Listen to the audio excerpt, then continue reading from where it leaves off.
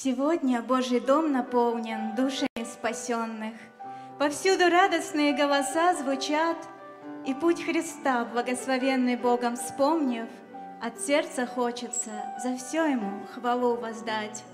За то, что создал на земле свою святую церковь, За то, что столько лет благословлял ее, хранил, За то, что я могла прийти сюда однажды в детстве — и здесь спасение для души своей найти.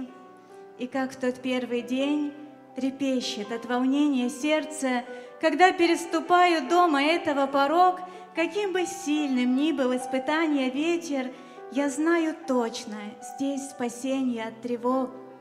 И в этом мире, где так много трудностей и горя, где близкие друзья чужими могут стать, стоит, как воплощение защиты и покоя – уютный дом, где проповедуют Христа.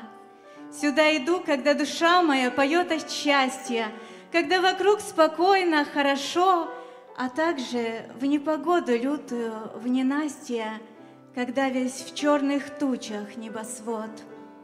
Иду сюда, ведь здесь меня поймут, поддержат, и на руках молитвы к небу вознесут. Здесь голос слышу искренний и нежный, Здесь утешение для души в любой момент найду. Спасибо, Иисус, за этот дом чудесный и за уроки тихие в общении с Тобой, за все стихи, за проповеди и за песни, что мир дарили и несли душе покой.